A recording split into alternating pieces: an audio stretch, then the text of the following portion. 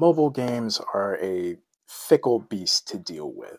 There will always be the pitfall of getting super into a game and then it hits you with paywall after paywall after inescapable grind. I personally had my mind set on an isometric runner featuring heavily armed college kids, while my ex at the time preferred the exact same method but starring sentient cookies. Heard that game's doing alright, because Blue Archive won't let me back in no matter how much free space I have on my device after converting an editing phone into an art phone and my burner phone into a miniature tablet. Fun as Caxton Soup is, I want adventure, high stakes, fantasy, also no ads, but I'll take minimal. Oh, Hmm? have you seen this ad? Stone story is well, it's a few things to be honest. The game has this really cool quality of improving and unlocking features as you progress, which is super cool to talk about, but I don't want to spoil my own first episode here. So allow me to induct you into a text based story. You see nothing. Well, yeah, I can fucking see that. You hear nothing. Yeah, I can definitely confirm that as well. You feel something. I don't know about that one. The ground. It feels rocky. Oh. I'ma pick up some stone.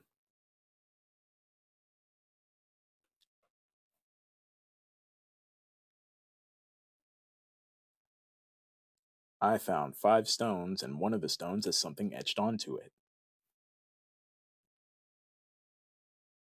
Uh. Okay. It's an eye.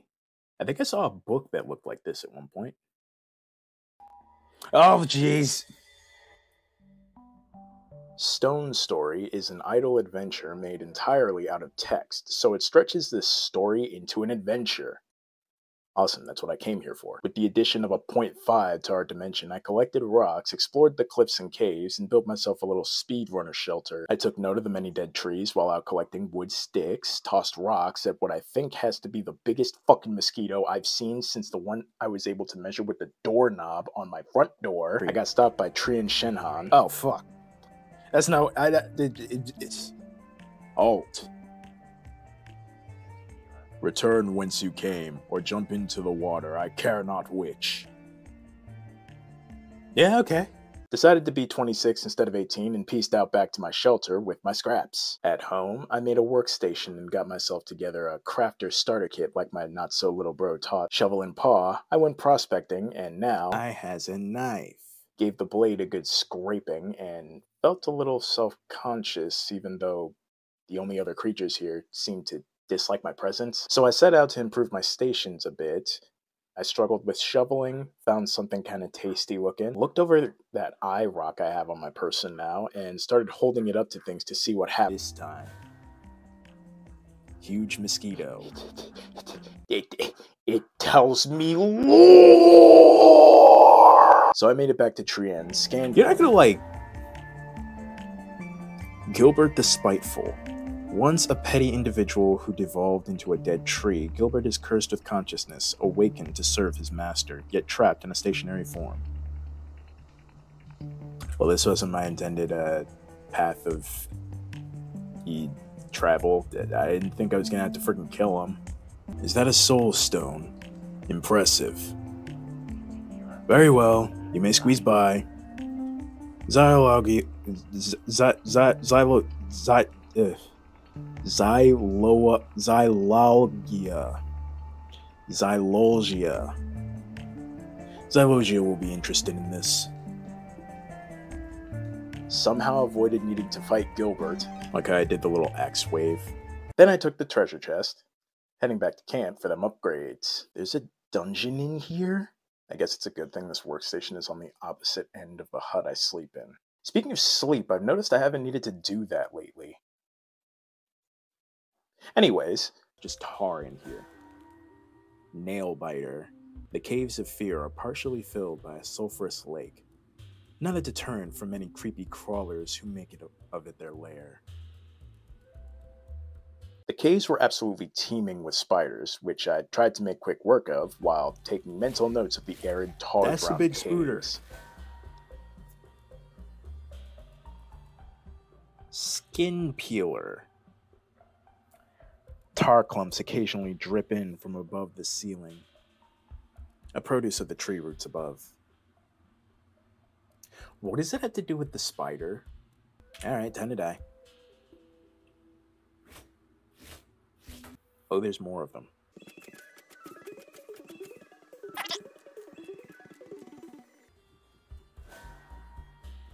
Actually feels sorry for the spiky tongue. Wound licker. Until I got licked by a crowbat.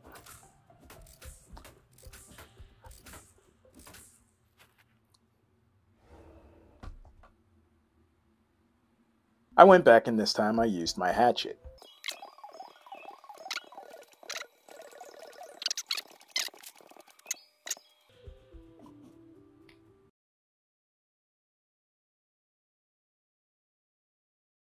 So I went back again, and this time I just threw rocks. Glad we haven't run into.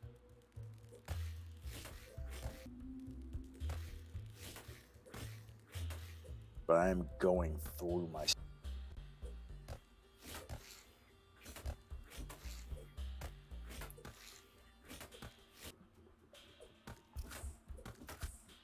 Third time's the charm. Speaking of charms, new rock, Starstone. Ow. It's a stone with a star on it. Something happen? Oh, jeez, here we go. Stone Story is an idle dungeon crawler that is entirely made out of text and punctuation. I get the eerie feeling this is the last time that I can use that joke for some odd reason. I readjusted my gear and set out for a nice peaceful walk on the rocky plateau to accept my newfound epiphanies with some top rock by the Atlantic. I found a chest labeled Property of Joe Crap, Don't Forage, and headed past Gilbert to do some more exploring. Schwaxed a scarab that bled blue for some reason. Found another tasty looking hunk of metal. I was then struck with the haunting revelation that I am a kobold that eats metal ore holding three rather large pieces of silver, and I'm still not hungry.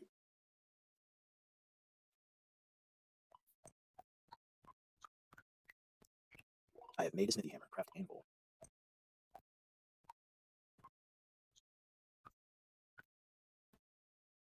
I made an anvil, forged that sword I found, and went to go test it out on the bats in the caves while I collect tar blobs.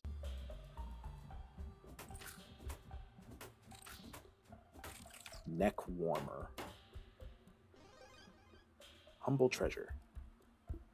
So we got the wound liquor and the neck warmer. It's in the chest. Some more forgery, the backtrack song, plunder, note, fuse, yeah. No. Later, I finally made a little dinghy and row row rowed my boat gently to a door. A conspicuous bronze gate is built into the cliffside. Examine. See, we got some runic on the top there. I'm sure that that means something. You have no key.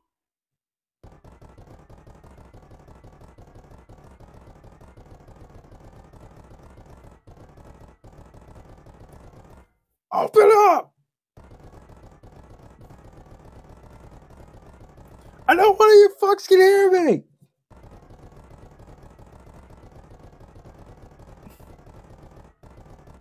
I can see your feet under the door. Please answer.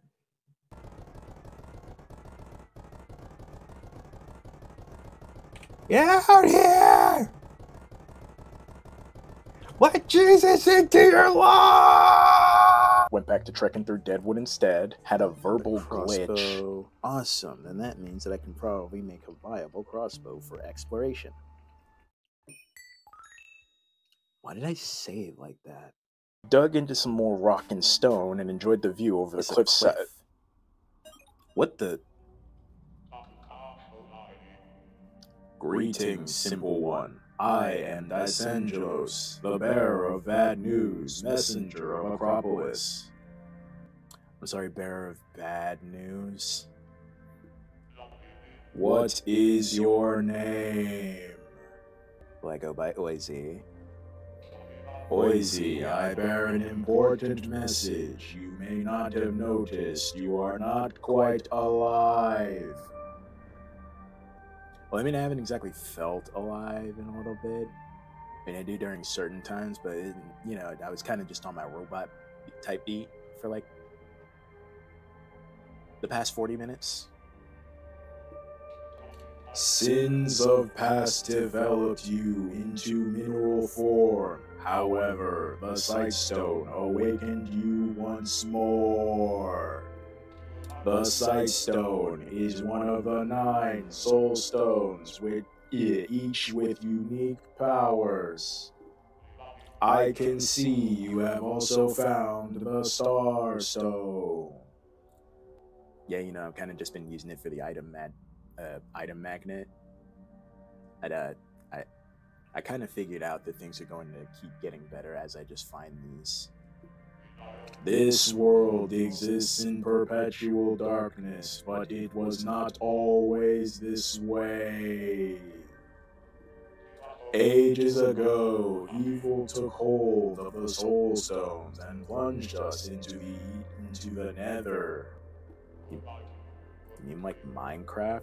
Light may once again shine upon us if all nine soul stones are reunited. It's a bit more like Terraria. Things are kind of fun. It seems the Sightstone has chosen you for this quest. Oisey, you must reunite all nine stones. If you need guidance, come see me anytime. Well, that explains why I'm not hungry. Eh, more exploration then. I marked a massive spoolie that dropped a keystone that just looks like a normal piece of moonstone. Oh! Stone story is it? Wait, I already exhausted that. The keystone shoots things with magic bolts, lets me fuse things with key, and has an achievement that's a fucking pun. I accompanied my crossbow bolts with Masenko Haas, and then I got frame 1 split in half by Xylalgia. Grappling hook!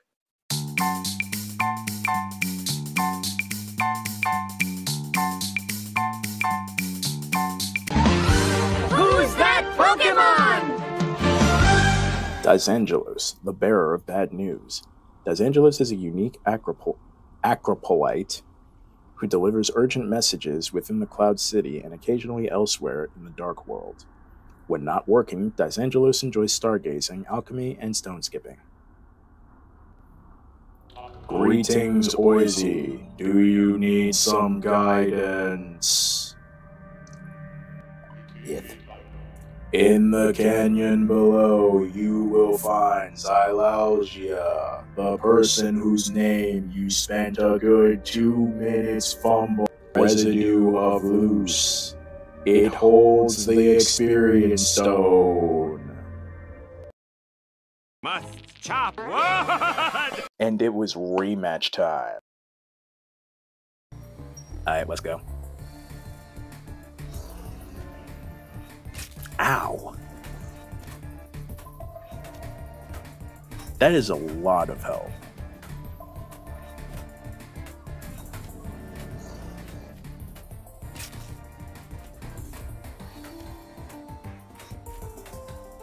I don't foresee this going well.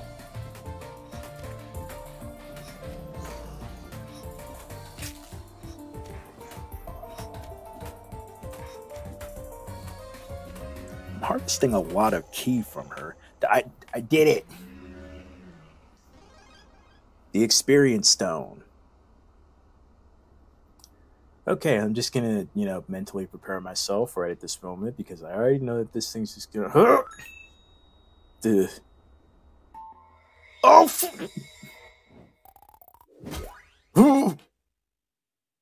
oh, that feels weird.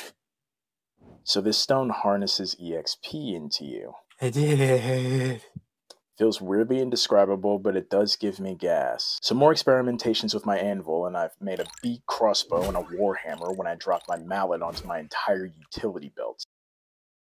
Then I went to go bother Dysangelo again, show him my new belt. Also, the thing. Greetings, Oisey. Do you require guidance? Yeah. You must find a way to descend the waterfall, below which there is a passage. Try your different items and see what works. Grapple down the waterfall. Got it, mysterious space squid. Waterfall. Wait. Chop up that tree. Or don't. Yeet. Huh. Oh, that's a brave boy. That's a rather brave boy.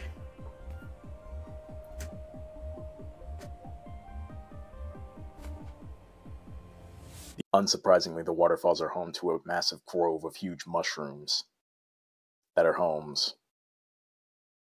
Shroomville. I, I found Shroomville. I, I found the Mushroom King. I wrecked the monsters terrorizing the streets and ogled a big ass snail before I went to investigate a sign notating a shop. In the distance, a faint column of white smoke rises gracefully, spiraling like a wispy enchanted thread. Its alluring dance draws the eye amidst the towering fungi. While rummaging around the town, I found some wands and a mana st- Hang on. That looks like this rock I found before that I was. Wow, I just remembered the whole not hungry thing again. Anyways, this looks like a rock I found before. Let's go to that shop. And there it is.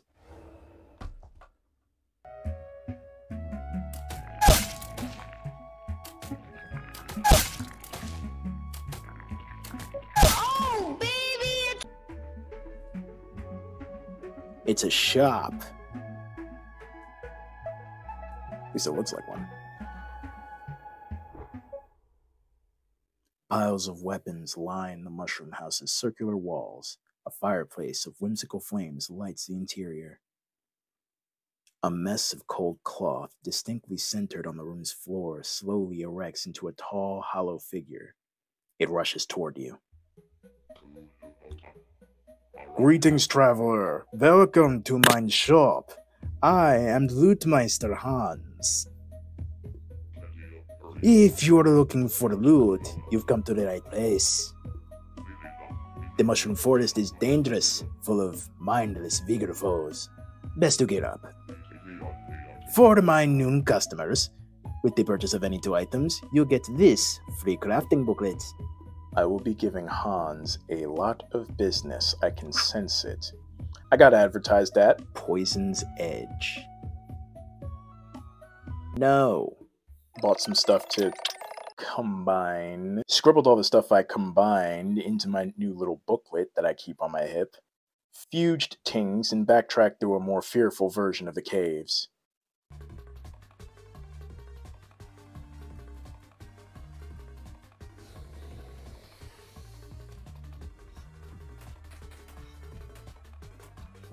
Pretty sure I'm gonna die.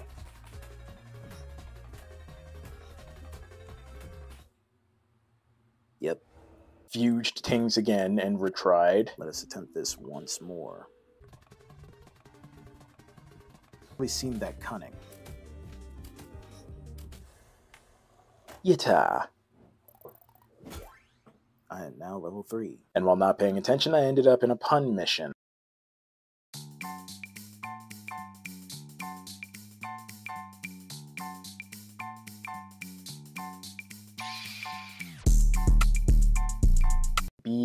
Treasure. Hello again. Oh, oh, it is good to see my loot being put to good use. What have you been up to, Izzy? You done what? 28 ants defeated? Well done, yes, yes. If you push deeper into the fungal forest, you are bound to find the haunted hills. Beware, the halls are cursed, overrun by aether foes. As it happens, I, Hans, am of aether, same as the foes in the halls. You could say I am familiar with that element. Yes, quite familiar. I have a special deal just for you. While poison is perfect for the mushroom forest, the corrupt festering in the halls requires a more of a vigorous touch. I call it the Ghost Slayer. It's a powerful enchanted staff that can be purchased. for a price. Because that's how purchases work. But you must promise you must not use it against Hans. That would not end well. For you, that is. Okay. I had no intentions on using it on you. You seem like a cool guy. Excellent. It's quite a unique weapon, not merchandise, so I can't hold on to it for long. Inventory must always be moving. The Ghost Slayer is a verse. No. You. John. Smash! Now let's test me mallet. I'm good.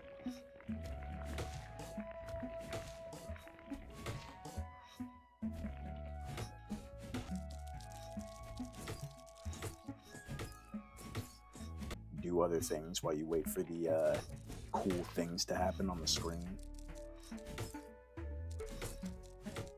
Ants can't even get out of the damn hill.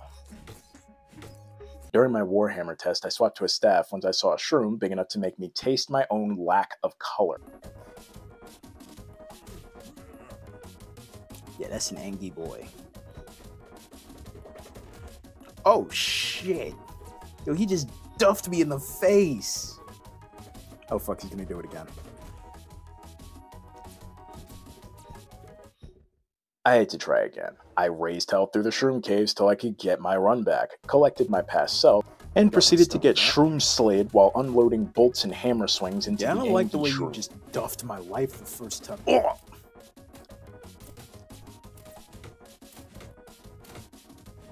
This man reels back for a year and then just absolutely Donkey Kong banana slammers you. Jeez. An, an ancient gateway lies beyond the fungi garden. Its rusty railing, a haunting, ominous grin. I am now level four. Well, new stone time. the quest stone. Okay, so I think this is going to be the last one we find for today, but uh, let's just get this over with. It's got an exclamation point on it. All right, I feel like I already know what's going to happen.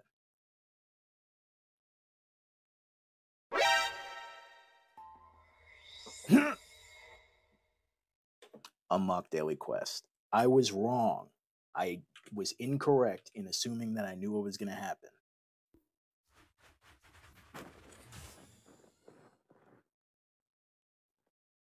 Neat. So after that, I decided to investigate a fence that looked haunted as fur.